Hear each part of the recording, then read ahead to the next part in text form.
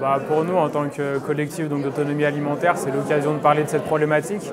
Euh, pour nous, c'est vraiment euh, quelque chose d'essentiel dans la transition. Nos villes, elles sont de moins en moins autonomes. Il me semble qu'à Paris, euh, on a trois jours d'autonomie. Donc ici, à Grenoble, on a vraiment envie de lancer un mouvement. Donc on a envie de, pouvoir rassembler, que ce soit des jardiniers, des citoyens. on a invité donc, pour nos ateliers des élus de la ville d'Albi, par exemple de d'autres initiatives euh, d'autres villes qui ont, créé des initiatives autour de la transition.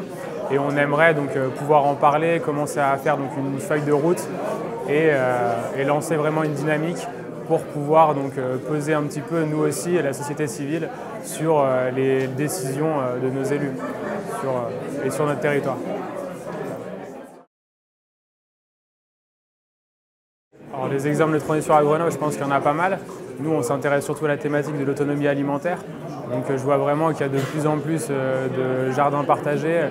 Nous, dans notre collectif, donc, il y a des gens, euh, par exemple, du parc Mistral, il y a CO2 Compost, il y a donc Cultivons nos toits, il y a plein plein d'acteurs, d'initiatives qui, qui se développent donc, en ce moment là-dessus.